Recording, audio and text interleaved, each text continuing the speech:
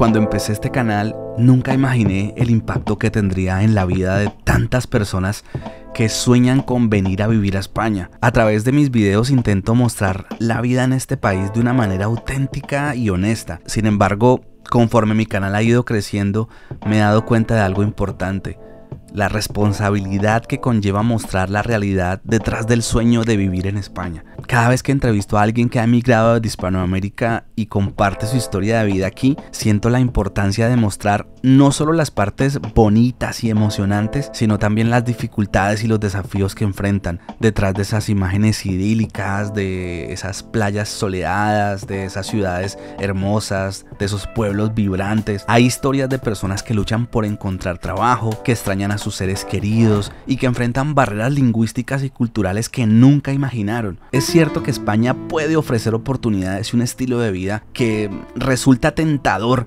para quienes vienen de países como los nuestros, donde la falta de opciones hace que España parezca un destino ideal. Sin embargo, es importante tener en cuenta que España también tiene problemas. Muchas veces emigrar no significa un cambio real para algunas personas, ya que su situación sigue siendo la misma solo cambian de país. Además en España también ocurre el fenómeno de personas emigrando a otros países debido a la falta de oportunidades. Mi objetivo al compartir estas historias no es generar un efecto llamada hacia España, sino más bien ofrecer una perspectiva completa y equilibrada de lo que significa emigrar a este país. Quiero que aquellos que sueñan con venir aquí comprendan que la vida en España, al igual que en cualquier otro lugar, tiene sus altibajos, sus momentos de alegría y sobre todo sus desafíos. Y como decía anteriormente, el objetivo de este canal es mostrar la realidad de vivir en España. Sé que nunca podré acercarme a esa realidad, sin embargo soy consciente de que mis acciones pueden tener efectos colaterales incluso si no es mi intención. Y es por eso que quiero compartir con ustedes una entrevista que me ha ayudado a entender aún más sobre el tema del que les estoy hablando. Se trata de una mujer que decidió venir a España y que, según me cuenta ella, tomó esa decisión gracias a uno de mis videos. Fue muy importante para mí escuchar a Carolina. Su historia me compromete aún más en mi deseo de mostrar la realidad en este país. Hola Carolina, ¿cómo estás? Bienvenida. Hola Andrés, ¿cómo estás? Muy bien. gracias Vale, pues aquí estamos listos para hablar contigo. Tu decisión en un alto porcentaje se basa porque ves un video mío, tu decisión de emigrar. Ves un video donde estoy haciéndole un reportaje a una colombiana que vive en Palma, que trabaja haciendo limpieza de casas. Ella se llama Mónica. Y tú ves ese, ese video y ese video es fundamental para que tú tomes una decisión. ¿Es así? Así es. Eh, digamos que el video me motivó por su historia. Su historia fue muy fuerte, pero el video me motivó como, como a salir de mi zona de confort y, tomar el riesgo. Eh, lo tomé como, como por documentarme, Primero lo busqué para documentarme, para, para de pronto saber un poco cómo, qué debía hacer, cómo debía hacer. Y ya después fue la motivación, lo, miré varias veces y yo dije, no, ya, esa fue la decisión. Tú ya estabas con el proyecto de migrar a España y mm, lo ves, o lo ves y ahí empieza ese deseo de emigrar a España. Bueno, el deseo de emigrar, yo pienso que es de hace mucho tiempo. Yo estoy hablando de años. Eh, pero por cuestiones económicas y falta de recursos, pues no había tomado la decisión. Eh, la tomo, tomo la decisión en serio y empiezo a buscar la forma de defenderme de, buscar la forma de, cuando yo llegue, ¿qué voy a hacer? ¿Cómo me voy a defender? Y la forma. Y es ahí cuando comienzas a investigar por tu propia cuenta en internet y me encuentras. Encuentras un video mío donde estoy entrevistando a Mónica y Mónica cuenta su historia, em, que de hecho es una historia bien difícil, que Mónica le tocó bien, bien duro. Y, y ahí donde dices, No, definitivamente sí voy a tomar la decisión de emigrar. Sí, eh, de hecho ella, su historia, eh, o sea, su historia me, me, levantó el ánimo porque a pesar de que a ella le fue como le fue al principio, eh, el final, por así decirlo, de esa historia fue muy positivo porque ella logró ubicarse, estar mejor, entonces eso fue lo que me levantó el ánimo. Vale, no, yo, yo empiezo preguntando todo esto porque sí, como te decía hace un momento, trato de entender qué significa para un tipo de público lo que es los contenidos que creamos. Em, está bien claro y siempre lo he dicho que mi intención no es promover, no es incentivar, pero evidentemente eh, pasa, muchas personas se influencian por una entrevista y hay que vivir con eso, ¿no? Hay que, hay que lidiar con eso, porque está el que dice, eso es efecto llamada, hacer un contenido como esto es efecto llamada para generar una migración irresponsable, y está el que dice, pero es que en este canal solo hablan desgracias y solo hablan de lo malo, entonces eh, ahí está como mm, esa batalla que tengo quizás yo para lograr un equilibrio que no, no sé si lo vaya a lograr, pero eh, como te decía, si me gusta mm, ahondar en el tema, es importante entenderlo, es importante ver cómo lo ven, por ejemplo, en este caso tú que estás en Colombia, bueno, que estabas en Colombia, estás, a ver si estoy en lo correcto, tú empiezas a decir, bueno, voy a viajar, voy a migrar, empiezas a, a buscar los medios económicos, pero en toda esa búsqueda también tratas de eh, encontrar información. Y la información, pues, ¿dónde la encuentro? En Internet. ¿Qué me encuentro? Un youtuber creando contenidos, haciendo entrevistas y, comienzo a, ahondar un poco más y me encuentro un video que me motiva, que dice, bueno, si esta señora pudo, le tocó difícil, le tocó duro, porque a, Mónica le tocó, mira, está en la calle, la tiraron a la calle y, y bueno, ahora está trabajando actualmente, está echando para adelante, yo también puedo.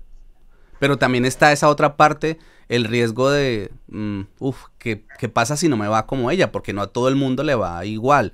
¿Lo pensabas en ese momento? Sí, claro. De todas formas, eh, la inmigración es inminente. O sea, yo no lo veo como porque eh, las redes sociales la estén promoviendo. Es inminente. Y todos los seres humanos buscamos algo mejor para nosotros y para nuestras familias.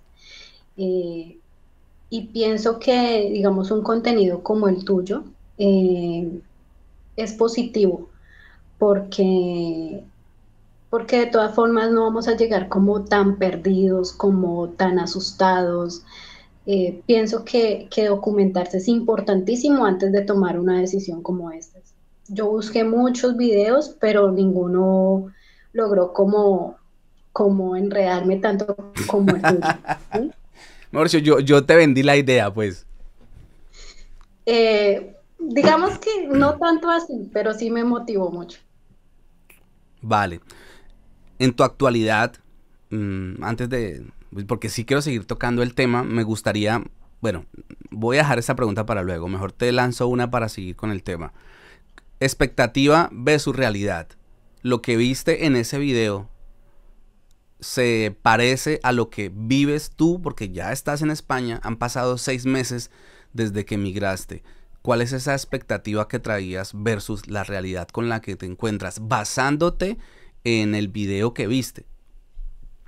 Mm, bueno,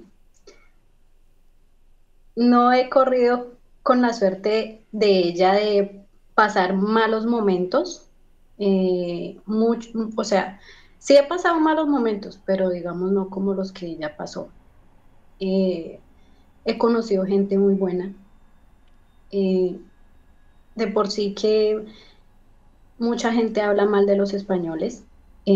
yo no puedo decir eso porque he conocido gente muy buena, como gente que sencillamente es desconfiada, ¿sí? Pero yo he conocido gente que pues de por sí han sido amables. No me han tendido la mano, pero han sido amables. Entonces, digamos, cualquier pregunta, cualquier inquietud, tengo la respuesta, una respuesta justa y ya. Eh, en cuanto al diario vivir, mm, digamos que ahorita siento como, como miedo, como, como una angustia, ¿sí?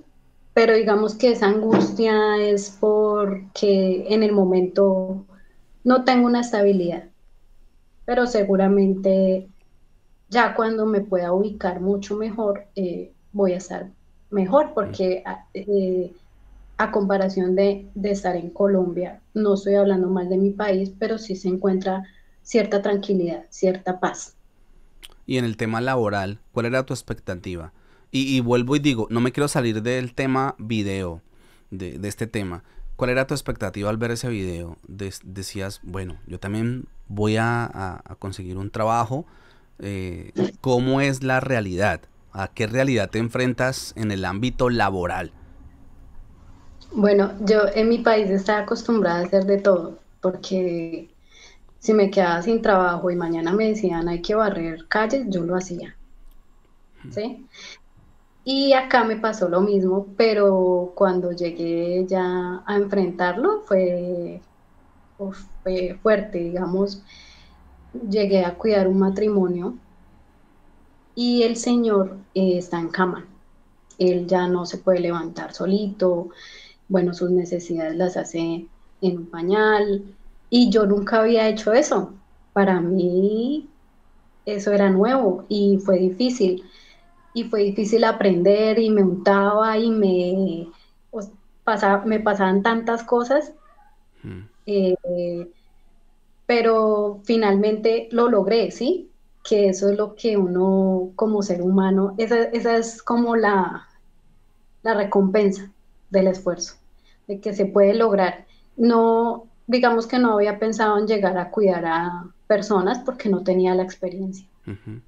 Eh, siempre existe como la, la duda, ¿será que yo puedo hacerlo? ¿Será que lo voy a hacer bien? Es una responsabilidad, eh, pero, pero lo hice. Y digamos que para llegar acá, uno tiene que venir con la mente abierta de que va a llegar a hacer lo que le toque. Aquí no es que puedo elegir o puedo pasar una hoja de vida y me van a decir que sí. No, aquí hay que sobrevivir y hay que hacerlo bien. Tú decías que llegaste a hacer algo que no pensabas que ibas a hacer. O sea, ¿cuál era ese, esa expectativa desde allá? Cuando estás allá en Colombia, cuando estás sentadita ahí frente al computador viendo información del uno y del otro porque te encuentras con mucha información y mm, tú decías, bueno, dentro de, esa, de ese anhelo, ¿cuál era el anhelo? ¿Llegar a ser aquí qué? Nunca, nunca lo, nunca lo pensé. Eh, de pronto solamente veía videos de, limpiar, de limpiar y ya me ya tenía como mentalizado que, venía a limpiar, a limpiar. Porque esa es la, esa es la fama, ¿no? Que, y de hecho a mí me dijeron, usted aquí tiene que llegar a limpiar porque aquí no hay más, o a cuidar señores. Eh, pero digamos que, pienso que, que, hay que soñar un poquito más, ¿no? Y estoy segura que de pronto se pudiera hacer algo como un servicio al cliente, como, como una atención más personalizada y mejor, pero pues... ¿De, ¿De, qué ha servido todo eso ah, para afrontar la vida aquí en España? Mm, yo creo que esa es una preparación psicológica. Yo creo que, ese fue el batallar de casi toda mi vida eh, laboral, desde que empecé a trabajar, desde que era una niña. Y pienso que, bueno, yo, yo te dije, yo creo en Dios, y yo pienso que Dios me estaba preparando para un momento de estos. Diría, bueno, usted quiere salir adelante, en otro lado, pues bueno, ya, ya se va preparadita. Eso es lo que yo pienso. O sea, hace seis meses llegaste a este país. ¿En la actualidad estás trabajando? No. Ya llevo un mes sin trabajo. Ok. y ese mes sin trabajo no te ha llevado a replantearte esas ideas que tenías en un principio, decir, bueno, allá la cosa es complicada, pero sé que voy a conseguir trabajo, pero ha pasado un mes y, no has podido encontrar un nuevo trabajo. Mm. Eh, llegar aquí eh, me enseñó a ser más positiva, ¿sí? Porque cuando uno está en su zona de confort, mm, solamente piensa en hacer el día y, pasar el día, ¿sí? Acá uno, uno aprende a creer, acá uno aprende a tener esperanza. Y yo no he perdido esa esperanza, porque porque Dios me dio una oportunidad y, porque estoy segura que, trabajando honradamente, honestamente, eh, una persona puede salir adelante. Y, no pierdo la fe, sigo adelante con mis planes, con mis proyectos, no, no pierdo la fe.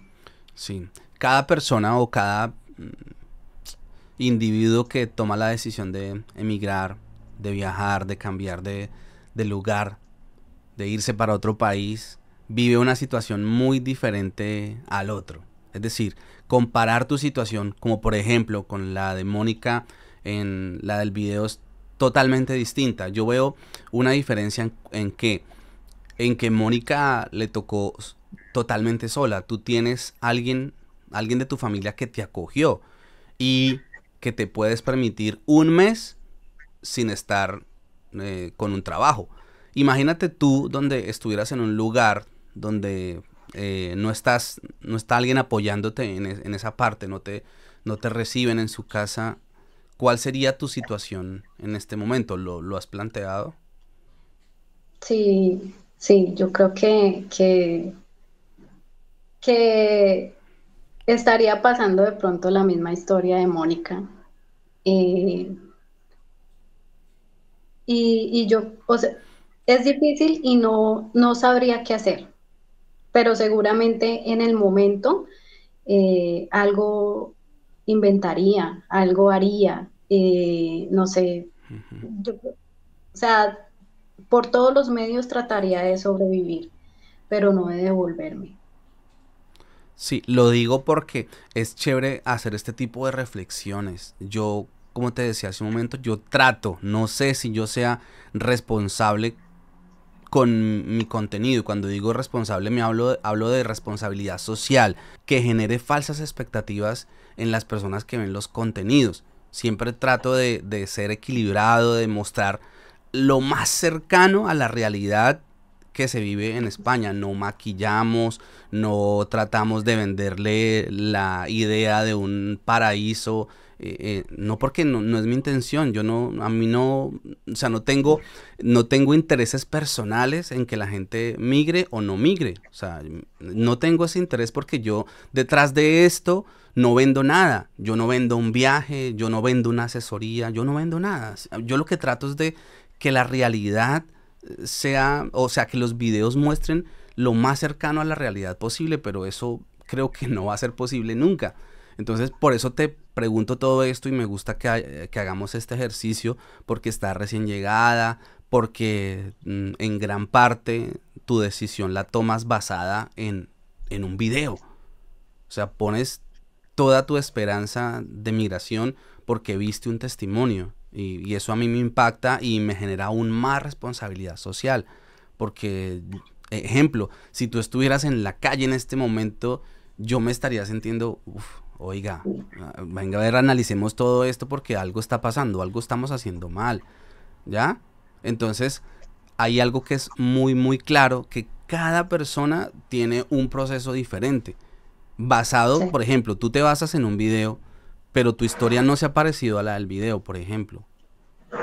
Es un proceso. Tiene que pasar un tiempo determinado, no sabemos cuántos, algunas personas hablan de un promedio de dos años para poderse eh, lograr una estabilidad cuando, cuando se mira y con las personas que yo hablo, noto que sí, que hay personas que logran una estabilidad antes u otras logran, eh, no lo logran, hay gente que tiene 10 años aquí no ha podido sacar la cabeza del hoyo donde están.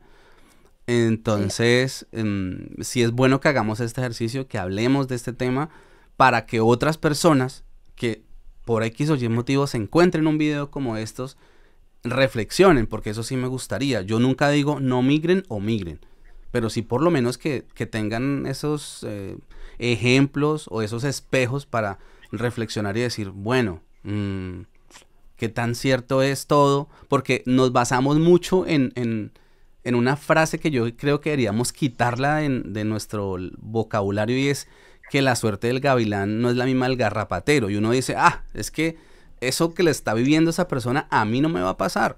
Eso no me va a pasar. Yo, yo voy a yo voy a hacer, yo voy a hacer la excepción a la regla. Yo voy a hacer, eh, si uno de cada diez les va bien, yo voy a hacer ese uno. Pero resulta que no, que cuando uno llega a este país o al país que migra, se estrella y se da cuenta que sí o sí va a tener que vivir un proceso. Hay excepciones. Yo siempre hablo de tres excepciones la bendecida y afortunada que se consigue un español y se casa y la trae para acá a vivir bueno, eh, el, que hace cosas indebidas y que viene a mover plata y a voltear plata y, a trabajar con, lo que sabemos, eh, y la persona que está altamente cualificada, que logra hacer su proceso ideal, como todos que, querríamos hacerlo, que es yo hago homologación de mis títulos allá, consigo una empresa que me contrate y que me traiga. Y entonces yo, llego aquí con trabajo, llego con permiso de trabajo, llego con un lugar donde vivir, llego con una estabilidad y no tengo que atravesar todo el proceso que vivimos los que alguna vez decidimos tomar una decisión irresponsable de me voy, eh, que pase lo que tenga que pasar, yo cierro los ojos y me tiro al agua. Sí, así es. Eh, bueno, yo, yo pienso que, para tomar la decisión, uno, tiene que haber una motivación. Y dos, definitivamente documentarse, no llegar que sí porque sí. Digamos, eh, cuando yo llegué, me enteré de cosas que ni siquiera en los videos, o sea, que ni siquiera en los videos eh, yo logré encontrar. ¿Cómo Digamos, Mm, aquí el, propio latino es, eh, no, estoy, no estoy generalizando, pero nosotros nos tiramos rayo entre nosotros mismos. Eh, entonces, eh, si yo tengo 10 trabajos, pero así me esté reventando y sé que hay uno que necesita y que yo puedo ayudar, no, no lo hago, porque es que esto es mío, ¿sí?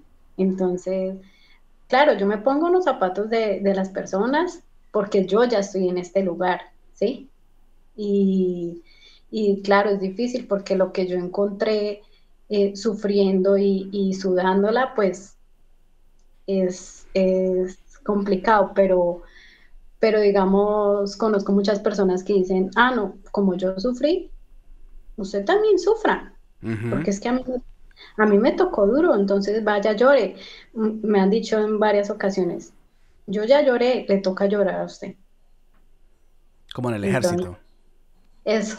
Así funciona en el ejército. Pero digo, bueno, eso es hasta, hasta, hasta bien, porque eso le enseña a uno a ser más, más valiente. ¿Tú sientes que venías documentada o que venías desinformada? Sí, sí logré sacar buena información, sobre todo de YouTube. Eh, lo único, el tema del padrón, no conocía el tema. ¿No lo sabías? No, no, sabía que era así. O sea, ¿sabías que, tocaban padronarse? Sí, sí, pero no sabía que era tan difícil empadronarse. Mm. O sea, tienes seis meses en España hace seis meses llegas y no has, no has podido empadronarte. No. La persona que te acogió no ha podido empadronarte. No puede. No puede. ¿Me puedes contar por qué no puede o obviamos la pregunta? Estamos eh, viviendo en un piso, pero, pero pues claramente hay un contrato de cierta cantidad de personas y, y el dueño no, no sabe que nosotros estamos viviendo acá. Vale. ¿Y has buscado alternativas? para, para empadronarte? Eh, sí, eh, ahora estoy con el tema del padrón sin domicilio, pero pues en el ayuntamiento me dicen que eso no existe. ¿Con qué te encuentras en España que simplemente desconocías, a pesar de haber visto videos, a pesar de haberte informado según tú?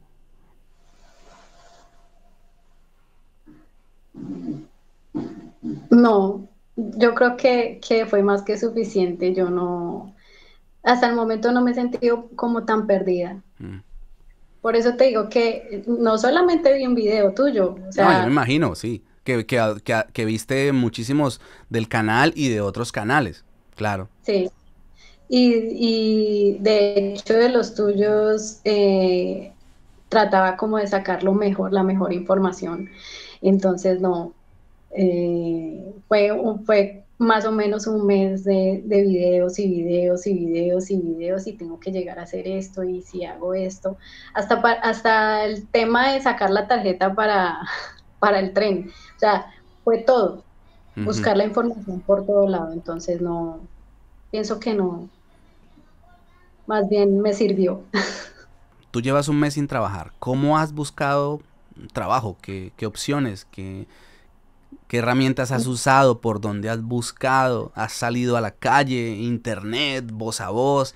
¿Qué has hecho y por qué no has encontrado durante este mes?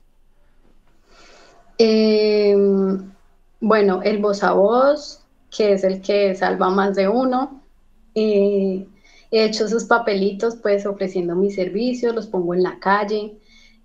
He hecho otros papelitos, pues que reparto en los buzones. Eh, me meto a todas las aplicaciones habidas y por haber. De hecho, hasta envío hojas de vida a empresas cercanas y, no importa, a correos de recursos humanos. Eh, eso es lo que hago. Em, y camino, camino mucho. Ofrezco mis servicios en tiendas, panaderías, mm. lo, que, lo que salga. ¿Cuál es la respuesta de las personas cuando te ofreces para trabajar? Cuando haces ese trabajo de campo, de salir a caminar, ¿qué te dicen los dueños o los administradores de aquellos lugares que visitas? que sin papeles no. Que no hay trabajo. Mira, mm, esto, esto está muy interesante y, lo digo para que muchas personas reflexionen basados en este video. Y obviamente que yo también tengo que reflexionar. Em, hay un comentario que se repite y se repite y se repite, especialmente en Facebook de, mi canal en Facebook yo noto que muchas personas dicen que en este canal somos muy pesimistas, que siempre entrevistamos a, personas que están eh, sufriendo, que solo mostramos la cara negativa de la migración. ¿Cómo lo veías tú desde allí, desde Colombia? No ahora, sino cómo lo veías antes. ¿Tú también percibías eso del canal? No, todo lo contrario, es que el canal le abre a uno los ojos. No es que, le da ilusión, sino que abre los ojos, le pone a uno los pies en la tierra y se da cuenta de lo, que va a llegar a enfrentar. Yo tomé la decisión independientemente de la historia que tenía Mónica, ¿sí? Porque lo que tú dices, yo pensé, si ella pudo, ¿por qué yo no? ¿Sí? Pero más bien eh, digamos que yo lo tomé como un reto personal, ¿sí? Pero no quiere decir que es fácil y no quiere decir que tu canal eh, no muestre lo que es, todo lo contrario, es de los pocos que muestra lo que es. Vale, eso me deja un poco más tranquilo. Y, tú no estás contratada aquí para que esto es una conversación 100% natural como se dan en todos los capítulos que hemos grabado. Bueno, eres una persona definitivamente optimista, eh, tienes fe, eres una persona de fe y dices, esta situación va a cambiar. Han pasado seis meses, llevo un mes sin poder conseguir trabajo, esta situación va a cambiar. Cuando estabas allí, lo veías, ¿cómo veías el tema del trabajo? Lo veías como que, uff, en España hay mucho trabajo. ¿Cuál es ese rumor que hay cuando, cuando se está, por ejemplo, en Colombia? ¿Tú qué escuchas? ¿O cuál era la impresión que tenías antes de emigrar? Uh, allá llego y lo que hay es trabajo. No, de hecho, eh, la persona, mi familiar de acá, me decía que no, que aquí no, que no venga, que lo piense, que está difícil. ¿Sí? Cuando llego acá me doy cuenta que sí hay trabajo, efectivamente sí hay, pero con papeles. Sí. Entonces, el tema es más bien como, pues porque llegamos de manera irregular. Y eso no solamente acá, en todos los países donde tú llegues de manera irregular, vas a tener ese obstáculo. Ya, pero uno, sabe eso. Uno sabe que va a llegar de manera irregular y que los trabajos que va a tener mm, van a ser trabajos por debajo de la mesa. Pero a pesar de eso, mm, te encuentras con, un, con qué realidad. Entonces, al llegar, ¿con qué realidad te encuentras en el tema laboral? Un mes sin trabajar, pero no lo ves mm, de manera pesimista. No, porque yo llegué, cuando llegué me fue súper bien. Yo a los 15 días más o menos ya había conseguido un reemplazo eh, para cuidar un matrimonio y, y ni siquiera lo pensé. Yo dije, sí, de hecho el pago no era el mejor, pero, pero yo dije, no, yo lo hago porque lo importante es eh, coger experiencia, empezar a, socializar, empezar a, a, entender y hablar el mismo idioma de los españoles he sido bendecida. Eh, después de cuidar ese matrimonio me salió otro cuidado. Entonces, decir que me ha ido mal es ser mal agradecido porque no me ha ido mal. ¿Has podido trabajar? Sí, claro. Pero también llevas un mes parada. Sí, un mes que, que ha sido largo, pero pues seguramente va a llegar algo muy bueno. ¿Tú en qué ciudad estás de España? Yo estoy en, en Terraza, en Barcelona. Barcelona, que Terraza es una ciudad como de unos 200 mil habitantes, no es una ciudad pequeña. O sea, que posibilidades de, trabajar, me imagino que ya te has recorrido el centro, las partes comerciales. De hecho, hasta los hospitales. Sí. Estaba. ¿Tú qué sabes hacer? E, e, es decir, a nivel ¿Qué has aprendido en la vida? ¿Cuál, cuál oficio sabes hacer? Bueno, yo sé de todo. Así como he sido operaria en alguna planta de producción trabajando solo de noche, también he trabajado en oficina, también he, intentado emprender, que lo hice en un, en un, tiempo donde no debía haberlo hecho. Mm. Eh, entonces, servicio al cliente, lo que, lo que me pongan, pues yo trato de hacerlo mejor. ¿Qué fue lo último que hiciste en Colombia a nivel laboral? Trabajé en crepes. Crepes and waffles. ¿De atención al público, ah, de, mesera, camarera o, en la cocina o qué hacías? En la cocina. Eh, trabajé en la planta mm. de producción. Ellos tienen una planta bastante amplia, muy buena. Y trabajé solamente de noche, trabajaba de noche. O sea, que eres tú la que nos puedes dar la receta de cómo hacer un crepes rico? No, precisamente no. no. puedes o no sabes? Eh, no, es difícil el tema de, las recetas. ¿Sí? ¿Pero por qué? Porque, bueno, ellos mantienen su, su privacidad en ese tema. Ya. Bueno, tú vives una situación que me la estabas contando también Mm, complicada. Eres madre, madre soltera. Tu hija se queda en Colombia cuando tú viajas. Sí. ¿Cuál era el proyecto con, tu hija? Me la traigo al cuánto tiempo, eh, pero bueno, eso, eso no se dio. Tu hija está en España. ¿Por qué tu hija termina en España tan rápido, dos meses después de que tú eh, llegaras aquí? Eh, inicialmente mi hija los planes era que se quedara un año por lo menos eh, para, para estabilizarme, pues porque me parecía una locura traerla conmigo cuando no tenía ni siquiera dónde vivir. Eh, pero eh, mi hija es agredida y amenazada en Colombia. Eso fue más o menos en noviembre.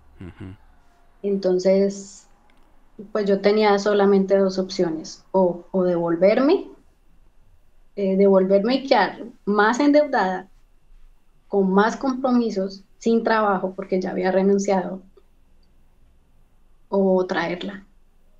Y pues ese, ese, esa angustia de que, de mamá o de papá, que, nos da por que nuestros hijos estén bien, que no les pase nada, pues eh, empiezo a buscar dinero prestado mm. para traer. Tu hija tiene 14 años. ¿Nos puedes contar qué le pasó? ¿Fue una agresión en el colegio? ¿Qué, qué pasó? No, fue una agresión en, en la casa, cerca de la casa de una vecina. Ella pues la agrede y la amenaza pues porque mi hija tiene una relación con, con, su, con su hija y, ella no está de acuerdo. Ya, y la agrede físicamente. Sí, la agrede físicamente.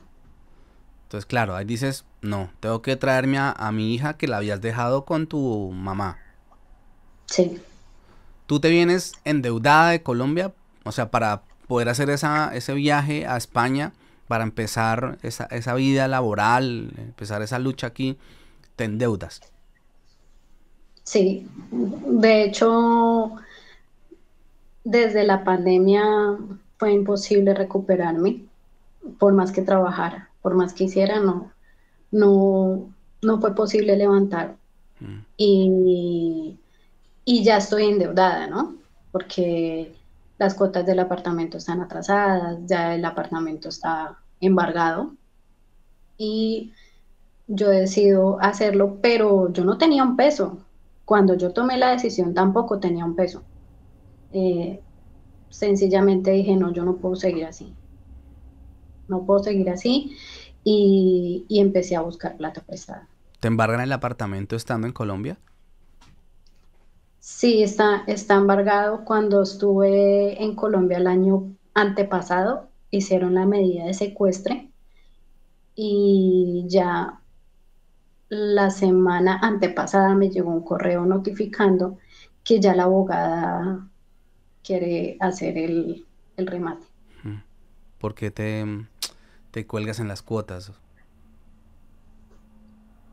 Mm, yo perdí el, el, beneficio del gobierno porque me atrasé y la cuota subió terriblemente. Sí, ya no la podía pagar. Por ejemplo, ¿de cuánto era la cuota y en cuánto te quedó? Eh, yo pagaba 245 mil pesos iniciando, yo te estoy hablando de hace mucho tiempo, y terminé pagando 700. Durísimo, claro. ¿Y cuánto llevabas pagando? Eh, más o menos 10 años. O sea, eso ya se perdió. Sí.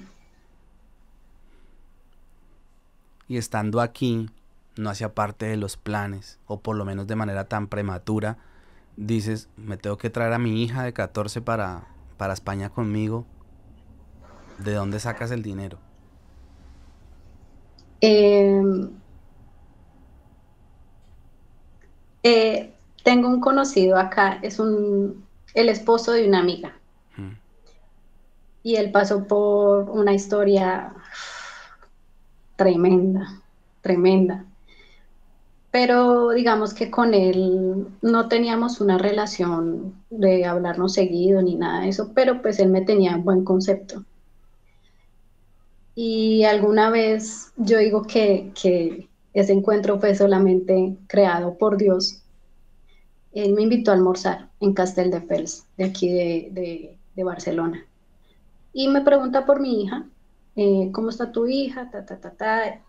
Yo le cuento y me dice, yo te presto cuánto necesitas, pero la tienes que traer ya. Y, y, ese mismo día me da el dinero, ese mismo día hacemos la transferencia para Colombia y ya empiezan los planes de traerla. Bueno, para que vean, hay gente buena todavía. Sí. ¿Se puede saber cuánto dinero te prestó? Me prestó 900 euros. Ahora que estás en España, que ya te has familiarizado con el euro, Sabes que 900 euros podrá ser mucho, para algunos es poco, pero para el que viene a trabajar eh, es un mes de trabajo. Y que no todo el mundo te presta 900 euros, no todo el mundo eh, tiene el dinero de sobra para prestártelos y aún pues con más mérito aquel que no le sobra, pero que dice yo te los presto. O sea, yo considero que, que hay gente de muy buen corazón. Sí, de hecho, pues toda la vida voy a vivir agradecida con ese hombre porque inclusive me dijo, yo le presto y me paga cuando pueda, como pueda, no le voy a cobrar intereses. Eh, pero yo pienso que es por lo mismo que él pasó acá. Pero es que tú hace un momento dijiste, algunos quieren que uno pase por lo mismo que han pasado, pero qué chévere cuando la gente también rompe esa cadena y, y dice, pues que yo porque tiene que pasar por lo mismo que yo pasé cuando yo le puedo echar la mano. Bueno, es que con él pasa algo que él ha conocido mi historia en Colombia. Y no sé, de alguna u otra forma él siente una admiración por mí. ¿Sí? Y cuando él salió de Colombia, le dijo a mi amiga, a una de las personas que yo voy a ayudar en su momento es a Carolina. Bueno, uno dice, las palabras se las lleva el viento, sí, de pronto lo dijo pues porque estaba motivado, pero realmente sí lo cumplió. Sí, él es el esposo de tu amiga. Sí, él es el esposo de mi amiga. ¿Y tu amiga está también en España? No, ella está en Colombia. Ah, traes a tu niña. Sí, traigo a mi hija, ella llega en diciembre y se queda donde mi familiar, entra a estudiar mientras yo sigo de interna. Tú estabas interna cuando la traes y ellos, tu familiar, que es donde estás ahora mismo, te dice, yo recibo a, tu niña. Pero, pero tú no estabas viviendo ahí porque estabas interna. Sí. Em, reciben a mi hija con la condición de que yo no voy a vivir acá. Pues porque no se puede. Eh, por temas de, contrato, bueno, de palabra. Entonces yo acepto, pues confiada de que estaba trabajando y que me estaba yendo bien. Entonces eh, reciben a mi hija, ella entra a estudiar, obviamente ella está pues ubicada en un colegio y yo paso a, a hacer otro reemplazo en otro lugar cerca a Terraza y por un mes y medio. La persona que me recibe para hacer ese reemplazo mm, me dice que no busque trabajo, porque yo soy muy clara cuando voy a entrar a algún lado. Yo pregunto primero hasta qué fecha, eh, con qué condiciones de trabajo voy a entrar, todo. Mm. Y ella, ella me dice, no, no busque, porque la voy a seguir necesitando. Durante ese mes y medio, yo le pregunto siempre, por ahí cada semana le preguntaba, ¿hasta qué fecha voy? No, no, no busque, no busque que yo la necesito. Llega, ya se va a cumplir el mes y medio, ya casi va a llegar la persona que yo estoy cubriendo.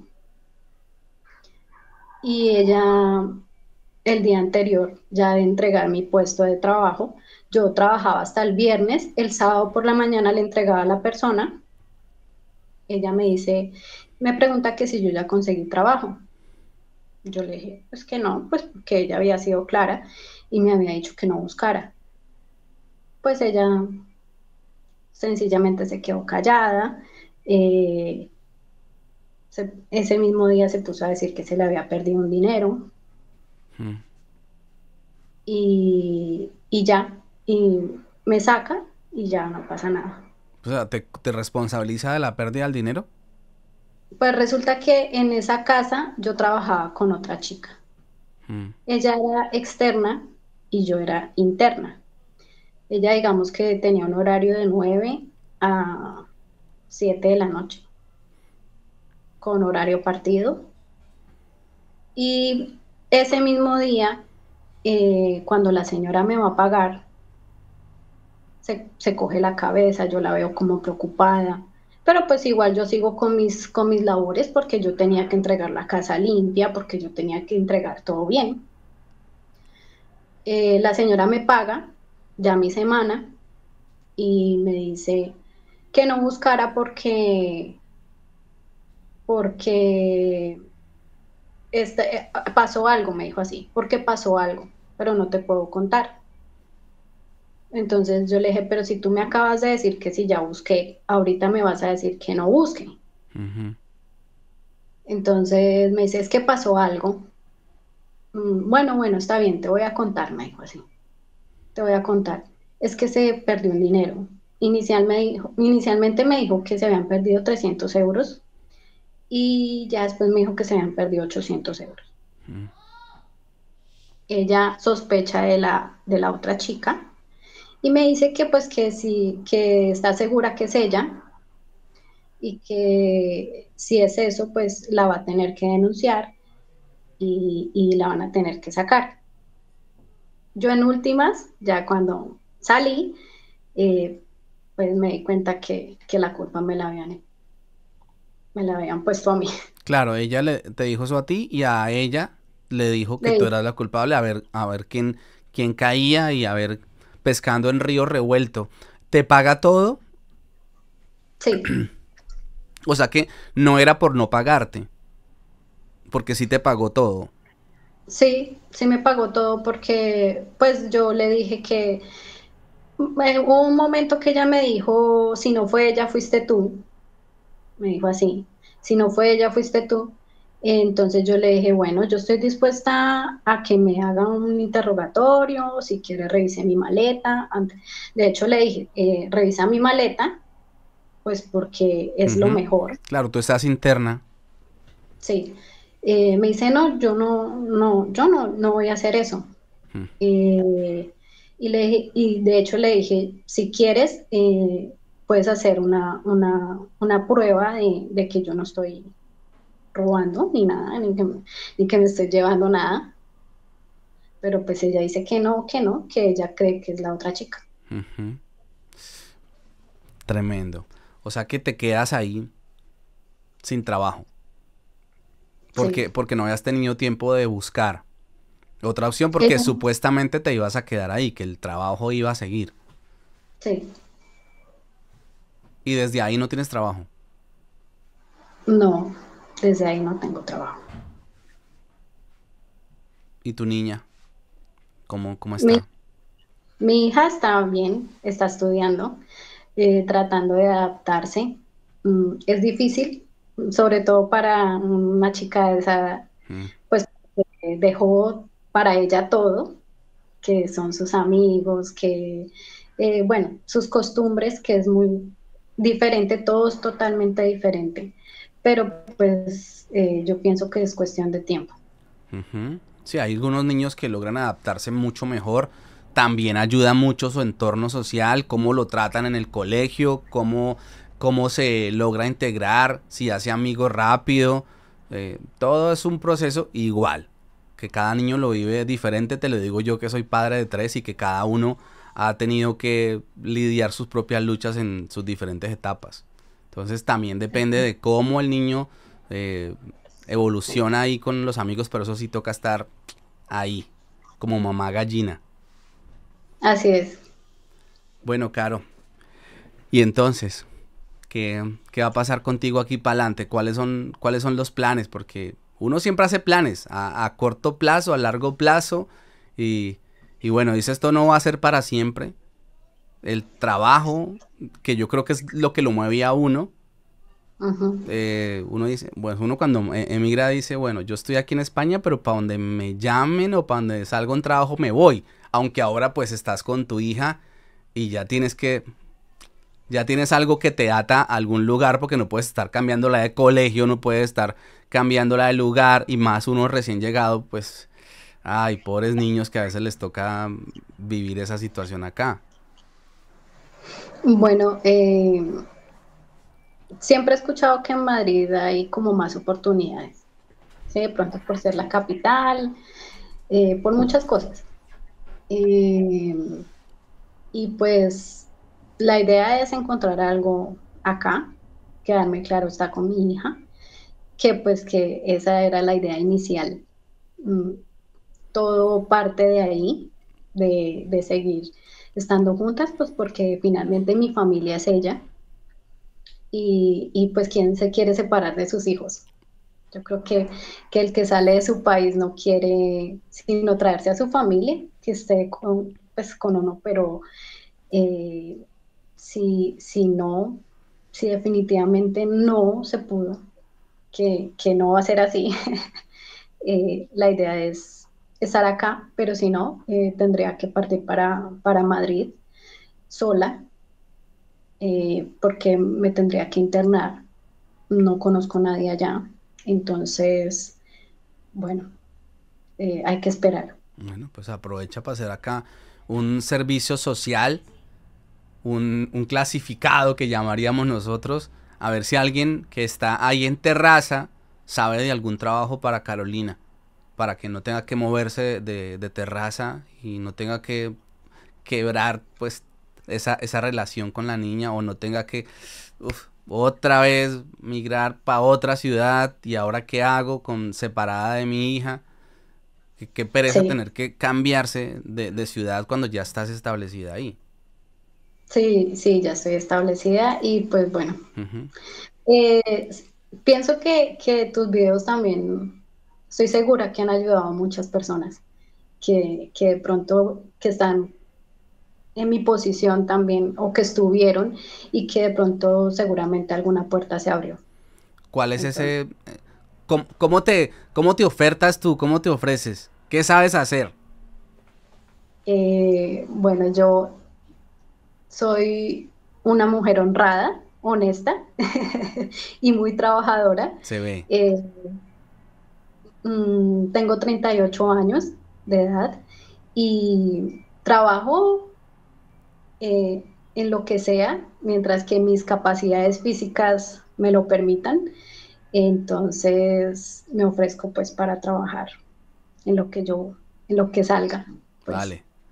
Listo, pues esperamos que eso se dé que aparezca alguien por aquí, igual pues eh, hay que echarle ganas. Y lo que, lo que yo siempre digo que es un proceso, es un proceso que pues que dentro de todo, dentro de todo no estás mal porque tienes un techo, tienes ahí un familiar que bien o mal, porque, porque no es fácil para uno como familiar recibir a otro familiar con una hija, eh, un apartamento, ya como que el espacio, e, es complicado, ¿no? Es, mm, e, es un tema que genera mucho debate y que despierta muchas pasiones el, recibir a alguien. Pero bueno, a ti, a ti te, han acogido y eso es, muy importante. Sí, de hecho estoy bendecida porque he escuchado casos de que dejan a las personas en el aeropuerto, que no las recogen, entonces son personas que no están ubicadas a dónde vamos a llegar, qué vamos a hacer. No, yo soy una mujer muy bendecida y estoy muy agradecida. ¿Cómo son las cosas en la convivencia al llegar a un lugar donde uno se siente un poco como un bicho raro por más que sea la familia? Mm, yo creo que es más trabajo de uno como visitante. Mi abuela decía que mi abuela decía que la visita de los tres días solía a feo. Eh, y seguramente sí pero, pero yo pienso que si uno pone de su parte y, digamos que, es una persona acomedida, mm. que es una persona que, se le ve por lo menos el agradecimiento, de pronto no económico, pero sí eh, en las funciones de casa, estar pendiente, eso es por lo menos una ayuda. Claro, tiene uno que hacerse sentir lo menos posible, Carolina. Así es. Que no lo noten a uno tanto. Eso. Y pues que le vean la intención de, realmente buscar, de buscar algo. No que eh, esta se, quedó ahí, se quedó quieta y, y no busca y nada. Por ejemplo, hoy estamos aquí grabando a las a la una de la tarde. ¿Cuál es el plan para hoy, para encontrar ese trabajo?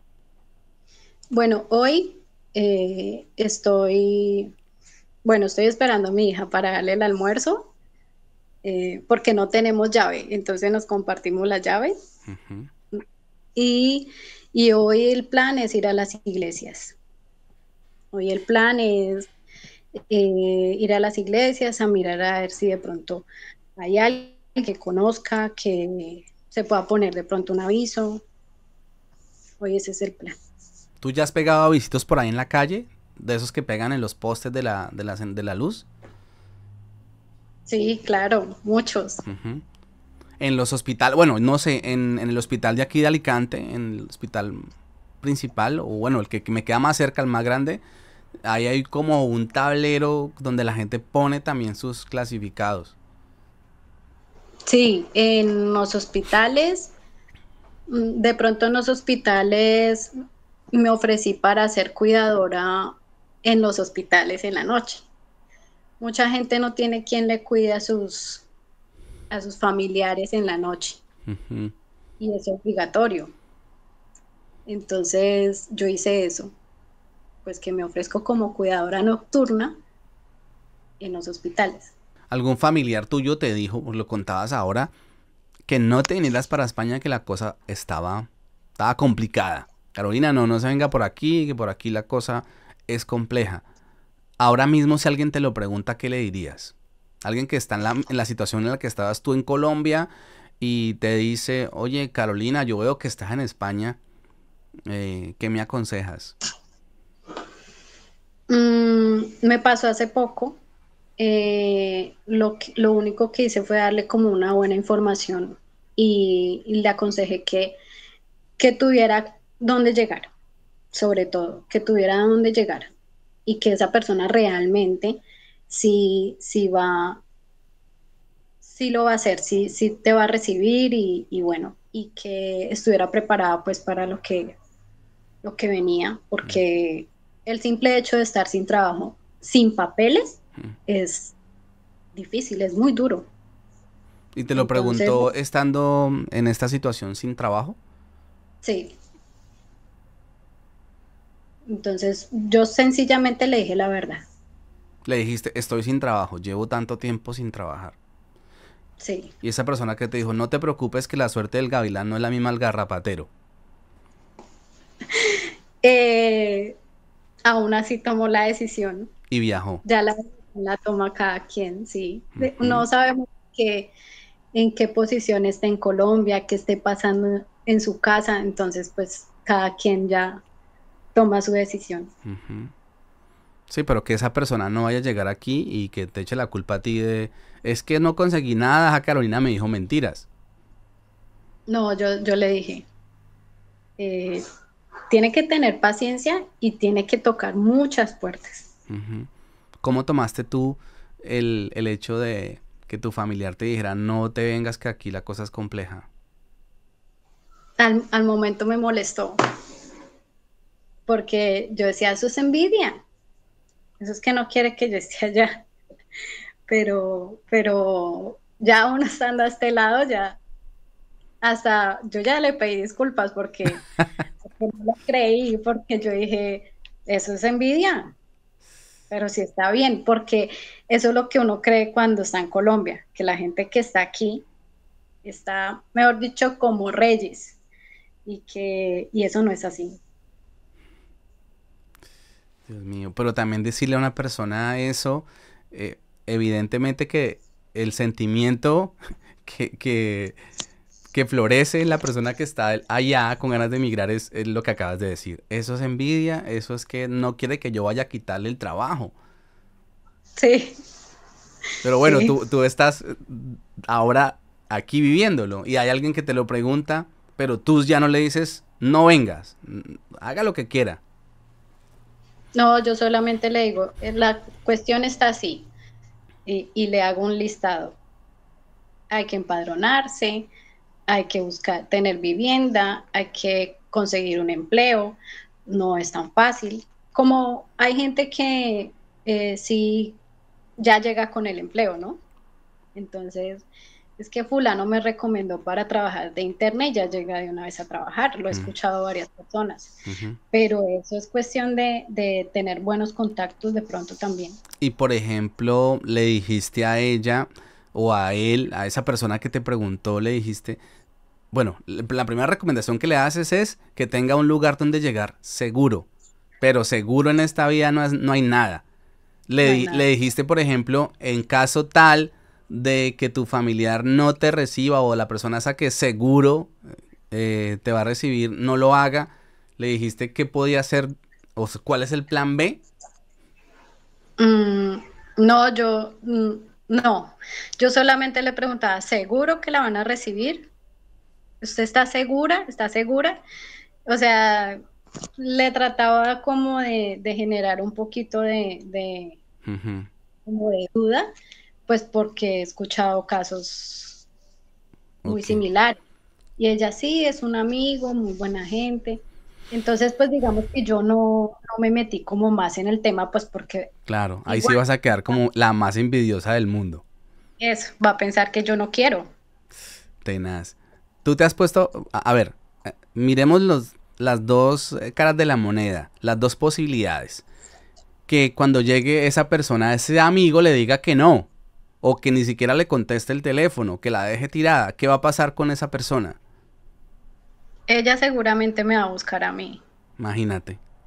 ¿Y tú qué, tú qué puedes hacer por ella?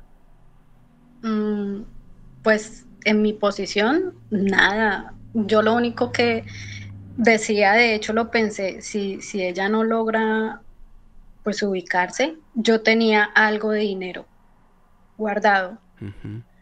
Y, y, yo decía, miramos a ver qué hacemos. O sea, Pues no, tampoco sabía qué iba a hacer, pero seguramente no, no iba a dejar tampoco que, que sufriera, pues no, porque no soy así. Por ejemplo, ella te dice, estoy, estoy en la calle. Ahí hay algo, ¿te sientes responsable? O sea, mm, o, es el sentido de, es una persona amiga, no sé quién sea, o es ese, ese sentido de solidaridad el que te impulsa a decir, bueno, si esta persona se queda en la calle, pues yo le doy mis ahorros, pero con esos ahorros que tienes es suficiente para que esa persona mm, que pague una noche de hotel o pague un apartamento, si es que él logra alquilarlo. Mm, pues no mucho, pero, pero por lo menos algo se puede hacer. Eh, lo pensé así, pero en ningún momento... Pasó. Eh, pasó, sí. Ya, no, yo lo digo es porque pasa. Y también es bueno cuando uno migra tener presente ese tipo de, de cosas. Yo creo que le, le, debe pasar a muchas personas que en algún momento tuvieron una conversación con alguien que decidió migrar y a esa persona no le fue como lo estaba esperando inicialmente y está ese sentimiento de responsabilidad, el, el, que es empático, ¿no? Porque el que no lo es le vale huevo. Pero el que es empático se debe sentir responsable y bueno, y ahora yo qué hago, un problema más. Eh, es complejo, es complejo. Yo por eso digo que cuando se va a migrar, uno tiene que preguntarle a nadie. Eh, es una decisión que usted toma bajo su responsabilidad y usted debe hacerse cargo de todas las consecuencias positivas y negativas que conlleva el hecho de, emigrar a otro país. O sea, bueno, yo voy a hacerlo de manera irresponsable, pues, pero yo no voy a responsabilizar a nadie, no le pregunte a nadie, su decisión no tiene que basarla en la opinión de los demás. Si usted tomó la determinación, pues hágalo, pero eso sí, aténgase a las consecuencias, como le decía uno la mamá o como le dicen a uno. O sea, usted, si decide emigrar, pues es su decisión, es su decisión. Pero no responsabilice a nadie más, ni de lo bueno ni de lo malo, ni a un canal de YouTube, ni a un youtuber, ni a un eh, influenciador, eh, porque yo lo he escuchado, yo se lo he escuchado a muchas personas. Y, y yo creo que el emigrar nunca es fácil, nunca es fácil y siempre va a ser una decisión bien complicada, que puede salir bien como puede salir mal, pero lo que yo siempre digo, por regla general, cuando se emigra, el, inicio es duro, el proceso es difícil, el, adaptarse a otro país es complicado, el lograr sacar la cabeza, el, encontrar un trabajo, una estabilidad y todo esto que uno que uno quiere porque le hablan a uno de la tranquilidad, le hablan a uno de es que España es un país tranquilo donde donde se vive tranquilo, pero es que uno no come ni paga alquiler con la tranquilidad. Uno, uno, no, uno de tranquilidad no vive, no es suficiente. Eso es cierto. Sí, la, la, pues la decisión es propia. Y, y, y, ya de ahí lo que usted haga, lo que, lo que usted, como usted se defienda. Hay personas que llegan de Colombia sin, con, con unos trabajos muy buenos, que han tenido buenos trabajos en Colombia, buena, buena estabilidad laboral, y de pronto llegan con, eh, con el pensamiento de que les va a ir igual acá. Puede que sí, más, pero más adelante. Inicialmente es duro, es duro, es duro. Hasta el hecho de, de acostumbrarse al clima, hasta el hecho de, de, acostumbrarse a las personas. O sea, no es solamente en el campo laboral, es todo. Mm. Hasta el hecho de llegar solo y enfrentarse a esa, a esa crisis eh, emocional. Porque por más que de pronto uno esté acostumbrado a vivir solo o que a mí no me importa nada, pero eso es mentira. Uno estando acá empieza a cambiar de pensamiento porque muchas cosas le afectan. ¿Tú cómo estás emocionalmente ya que tocas el tema? Bien. Eh, porque lo que te digo, mi familia es mi hija y yo estoy con ella y eso es lo que me tiene tranquila. Porque pues como se vivieron tantas cosas en Colombia, eh, el hecho de que ella estuviera en Colombia y yo acá y la diferencia de horario era pues mucha, eh, yo me acostaba tipo 2 de la mañana hasta que hablaba con ella, hasta que me aseguraba que estaba en la casa. Eh, entonces no tenía paz. Cuando mi hija llegó, yo, esa, esa fue la noche que yo pude pasar tranquila, porque ya sabía que estaba acá, que en cualquier momento la podía ver. Sí, eso es lo importante. Lo importante es que estás con todo el optimismo y sobre todo, como dices tú, estás con tu familia Carolina, gracias por tu tiempo, te deseo lo mejor, eh, seguimos en contacto, espero que las cosas eh, vayan a mejor, que logres encontrar un empleo pronto, ojalá ahí en, la misma ciudad y un abrazo para ti. Gracias por tu tiempo, gracias por tu atención, gracias por tus preguntas. Eh, yo, el mensaje que yo le doy a las personas que ven estos videos es que que solamente lo tomen como, como un canal de información y que la decisión que tomen sea la decisión que, sea personal y ya. Eh, le agradezco Andrés por, tener este medio para que nosotros los, los migrantes podamos de alguna u otra forma contar nuestra historia y que otras personas se basen en ella, no que se dejen llevar, sino se basen en ella.